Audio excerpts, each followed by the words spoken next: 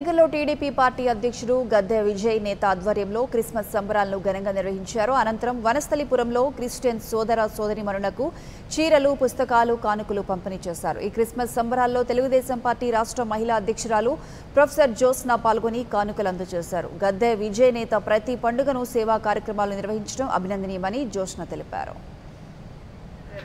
Division TGP అధ్యక్షులైనటువంటి గత విజయనేత గారి ఆధ్వర్యంలో క్రిస్మస్ సందర్భంగా కొన్ని కానుకలు చీరలు చిన్నపిల్లలకి బుక్స్ అవన్నీ కూడా పంచడం జరిగింది. తెలుగుదేశం పార్టీ ఎప్పుడు కూడా సర్వమత సమానత్వంలోనూ పేదల్ని ఆదుకోవడంలో కూడా మా సిద్ధాంతం అనేది మేము ఎప్పుడు అదే బిలీవ్ చేస్తాం. దాన్ని పూజా తప్పకుండా పాటించేటువంటి మా విజయనేత గారిని ఇవాళ రోజున మేము కంగ్రాచులేట్ చేస్తూ ఇలాంటి కార్యక్రమాలను ఇంకా మున్ముందు ఎన్నో చేయాలని చెప్పి కోరుకుంటూ ఇది కేవలం క్రిస్మస్కో లేకపోతే ఇంకో దానికో. ప్రతి పండగకి కూడా అది వినాయక చవితి కావచ్చు దీపావళి కావచ్చు లేకపోతే మళ్ళీ సంక్రాంతి కావచ్చు లేదా రంజాన్ కావచ్చు క్రిస్మస్ కావచ్చు ప్రతి పండగకి కూడాను పేదల్ని ఆదుకునేటువంటి ఒక ఒక